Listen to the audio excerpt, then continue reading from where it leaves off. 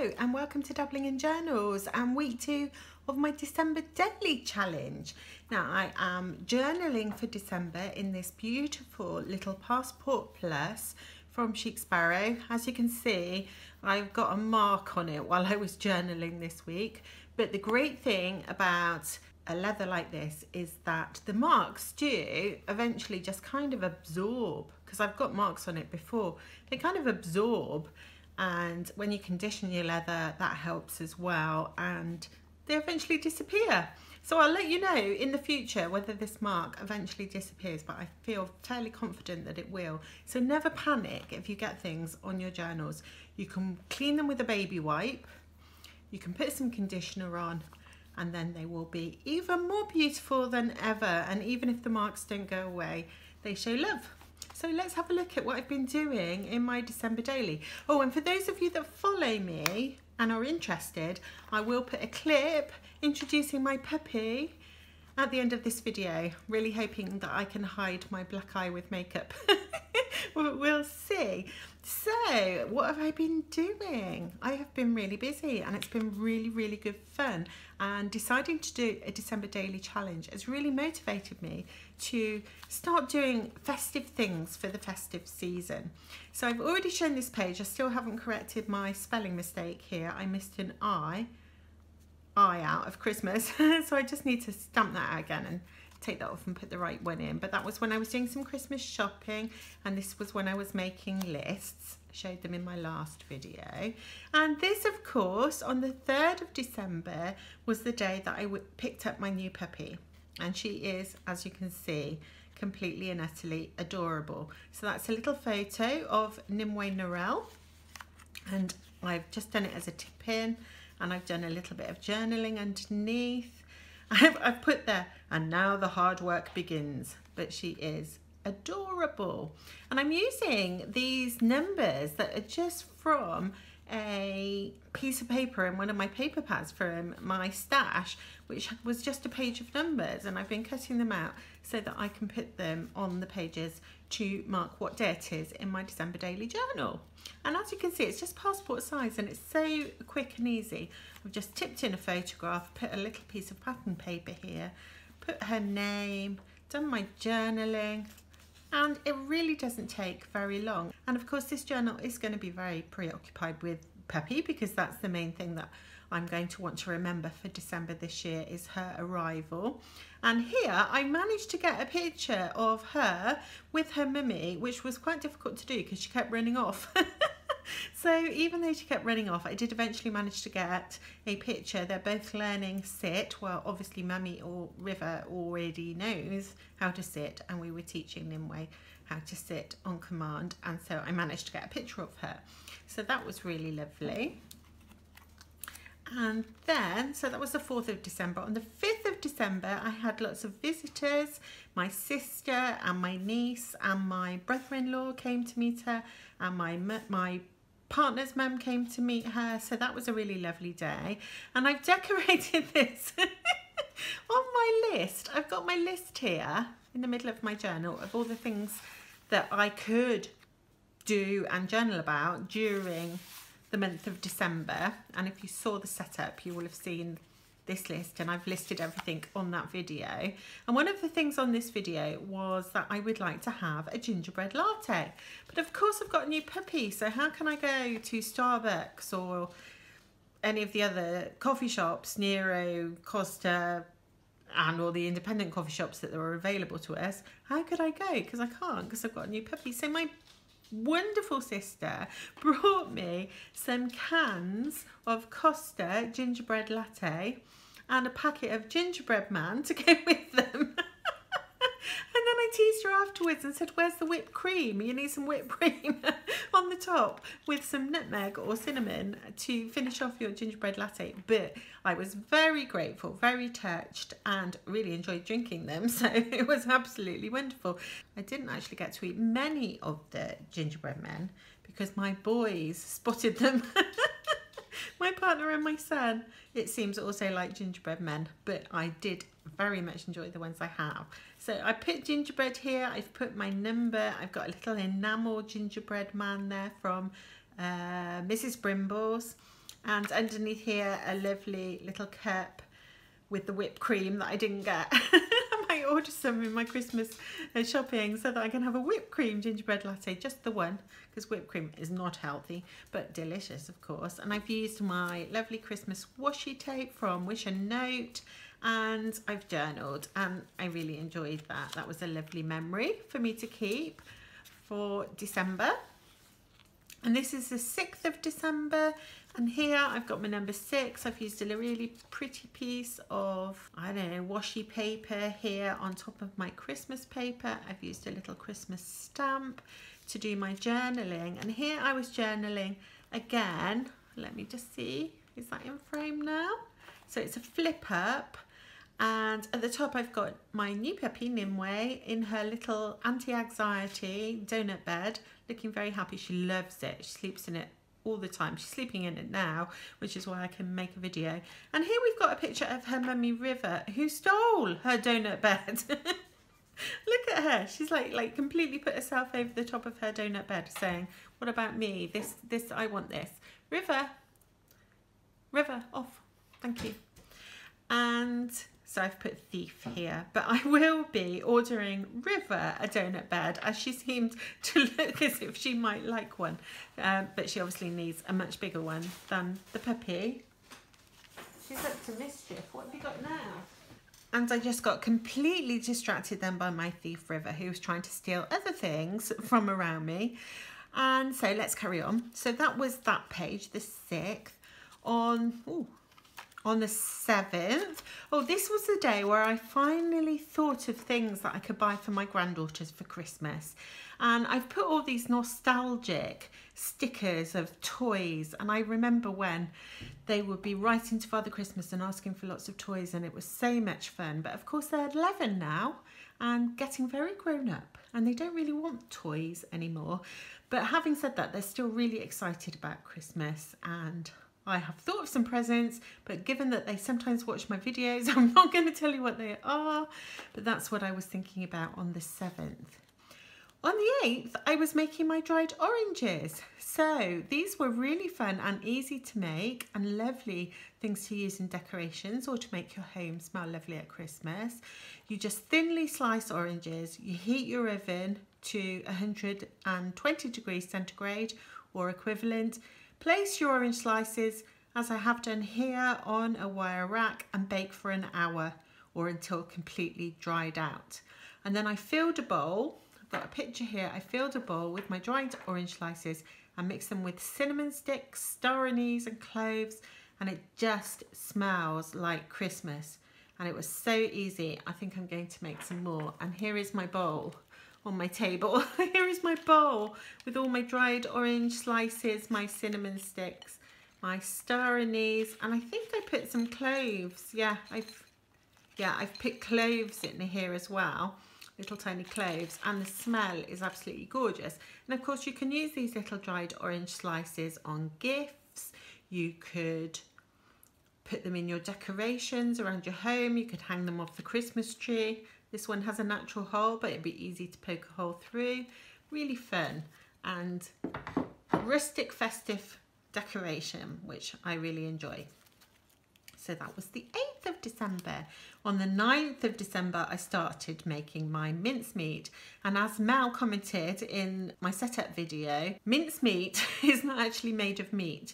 Even though it's called mincemeat, it's actually a sweet filling for a pie. It's full of raisins and sultanas and currants and orange peel. And I think the reason it maybe was called meat is because it used to be made with beef suet beef shredded suet, so beef fat. But I actually have lots of vegetarian people in my family, so I've made mine with a vegetable shredded suet, which is readily available these days. And that was the first day. It takes a couple of days to make it, according to the recipe I was using. And you mix up all your ingredients and then you leave them to infuse so that all the flavours of the spices get into the fruit. And then the next day, on the 10th, I actually cooked it. And I was using a recipe from Delia Smith. Delia Smith in England is a household name. She was one of the first TV celebrity chefs. I, I wouldn't be surprised if there's many people who cook that aren't familiar with Delia Smith. So I made mincemeat according to her recipe, which I've never tried before. And it was interesting because you mixed up, mixed up all the ingredients and as I say, you left them to infuse and then the next day you cooked them in the oven so that the suet, that is the fat sort of part of the recipe, melts and coagulates all around all the fruit and it's all ready then to go into a mince pie and it contained Bramley apples, which are big cooking apples. It did contain almonds, but if you're a nut, if you don't like nuts or can't eat nuts, you could leave those out mixed ground spice, ground cinnamon, ground nutmeg, brandy, a lot of brandy because you want to have that lovely boozy flavour in your mince pie, the shredded suet, mixed dried fruit, soft dark brown sugar, and then the grated zest and juice of two oranges and two lemons. And I have now baked my mince meat and put it into jars. I can show you, I have this jar here all ready to gift to a loved one. I made six jars of this mincemeat and all you do is make some pastry, put in a spoonful or so of the mincemeat, which isn't meat, it's fruit, and you make a mince pie and they are delicious. And on this page, I've used some of my festive Christmas washi, put my number 10 with some pattern paper as a tip in because I liked both sides of it. I just tipped it in I've got this lovely greenery with the berries on this side and a rose with some more greenery and berries on that side. And here I added a sticker from Sticky Club because I think I mentioned to you, if you watched my Monday video, my bullet journal video, that I had was running out of Christmas stickers and I'd been hoping Sticky Club would send me in this month's subscription pack some more wintry stickers and they did and so I've started using them. So I'm really happy about that and that was one of them. Really beautiful. And I'll show you some more in a minute. And that was the 10th where did 11 go? Here's 11. So on day 11, this was a very doggy day. So I've tipped in a piece of pattern paper with this beautiful cone on it and my number 11 for the 11th of December. And I've journaled here and here and I was journaling about dogs basically. And my daughter came over with her husband, her children and her two mini American Shepherds and we introduced them to little Nimue and it went really well which we have been a little bit worried because my daughter's dogs are reactive, very high energy, mini American Shepherds, and they recognised the puppy as a puppy and one of their own, and they were very gentle, and there was no problems. Obviously, we had Puppy in a pen initially, and they could just sniff her, and yeah, it went really well. And here we've got Puppy being introduced to her boundary bed because in my art room I have the two raised beds.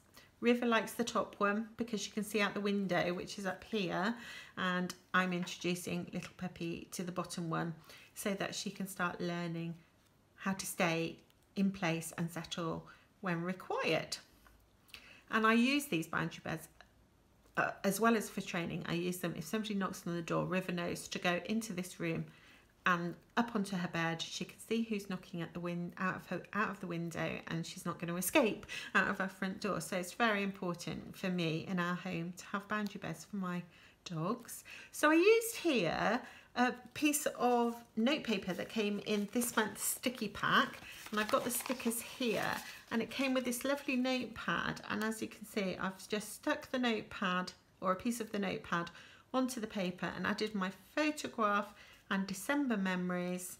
And yeah I got really lovely stickers. I have taken a few out because there were some that I just thought would be perfect for one of my happy Mel friends Mel. And so I don't want to show them because she'll see them if she watches the video. But there's some lovely oh look at the foxes. I mean they're not Christmassy but I'm so gonna hoard those. They're so gorgeous. And these are wintry stickers. Obviously these are wintry stickers with the penguins and these maybe not so much wintry but look do you see here there's a gonk we call these gonks what do you call them in the US? They're like little people and the hat comes right down to their nose so they don't look like they've got any eyes. And we call them gonks. And there's tons of them in the shops at the moment. If you go shopping for Christmas decorations, can't find any Santa Claus. You can only find, well, you can find Santa Claus, but you can only find all these little gorgeous little tiny gonks. So I thought that was really funny when there was one on this sheet. And then these are absolutely gorgeous. Haven't used one yet, but beautiful winter stickers from Sticky Club. And these, as you can see, I've already used a couple. I'm saving that teddy bear for when my new grandbaby boy is born. And there's other wintry stickers on here too. And a knitting one, which is cool because I really knew did want to do some knitting. Anyway, that was, I'm digress. So that was the 11th of December. On the 12th of December, I was making my Christmas pudding liqueur and I decided to use a recipe by Jamie Oliver. Now I mentioned that the Delia Smith recipe that I used for my mincemeat, Delia Smith has been an icon celebrity chef for well, all my whole life. She she must be older than me because she's always been on the TV. and Jamie Oliver is a more recent celebrity TV chef, and I thought I'd use his recipe to make what he calls Christmas pudding vodka. And it is made from vodka, but what you get at the end is like a liqueur. So you put two teaspoons of ground mixed spice into a pan and you warm it to release the flavours together with some sticks of cinnamon. You also need a lemon and orange, 500 grams of mixed dried fruit, 450 grams of light muscovado sugar and a litre of quality vodka and then you mix it all up in the pan and you let it infuse and you just stir it. Every time I go past it I give it a stir and try and encourage the flavours to come out. And then what I'll have to do probably tomorrow is you take a sieve and you line it with muslin and then you pour this wonderful mixture through the muslin and then the liquid that comes out is the liqueur that you can then bottle and gift to people that you love which is what I'm going to do. And I've already had a little sneaky taste and it's delicious. The only thing I wish is that I'd done that before I made the mincemeat because I could have used the leftover fruit which is which will be all infused with the booziness of vodka. I could have used that in the mincemeat so if I do this next year I will swap around the order that I do that. But I will find a use for the fruit. I won't waste it. And then on the 13th, on this day, I was feeling really happy because I was nearly done with my Christmas gift sorting. I had used my little secret book, which I have in here, so nobody can see what I'm gifting them. and I put everybody's name in and I was thinking about what I could gift them and I've now got to the point where I've made my list, I've checked them twice. Everything is bought apart from one gift for my son-in-law and also a birthday gift for my son-in-law. So I've decided actually what I'm going to get, just haven't ordered them yet. And I really love this little snowman, snowman piece of ephemera from Mrs. Brimble. So I popped that on there. And this was one of the stickers from the new Sticky Club that I received this week and it's a window with a snowman peeking through and I thought it just went beautifully with that page. And then here I'm all ready to go for the 14th which is yesterday which I'm just about to do but I don't think I've got time to share that with you. So you can see that next time I share my December daily this lovely little bookmark came in my sticky club pack which I really like and so I'm using that in here. So that is my December daily journal. Haven't done any sketches yet. Hopefully I'll do some this week to share with you. So I'm all ready now to do my next week of journaling and I will share that with you once I have done it. And I'm just going to say a little goodbye for those of you that don't want to watch the puppy video that's coming. So Bye and thank you for watching. And those of you that are interested in meeting my new puppy, I will add that little video clip on now. Hello everybody, this is Nimue. Hang on, let me give her a treat. You go, look, here she is. lovely girl, lovely girl, lovely girl. Such a lovely girl. This is my little puppy and her mummy is currently trying to get on the table for her treat. oh, did you see River's head then? Well, let's see if we can get River's head higher. River. Oh, there's mummy. and there's Nimue. let's go again. Nimue, you have a treat. Oh, they're not really treats, it's just their dog food. but they love it so much. they love it so much. It's my baby girl. You, girl. You're not my baby girl. You're River's baby girl. Yeah. You're so cute. So cute. So, another one. And River, River, come and say hi. Come and say hi. There she is, River. and here's Nimue. Oh, I'm glad that you've seen her and I will I will try and show you in all her glory in various all the various things she's gonna learn and oh I love her, love her, love her, love her, love her, love her. All the things she's gonna learn and, and that she she really wants to wriggle. Mwah! You're my baby girl, yeah. No, you're mummy's baby girl. You're mummy's baby girl. Mm. Love you too. I let them both go. So there, that is my beautiful little baby puppy. And thank you for joining me. And I will see you again soon. Bye.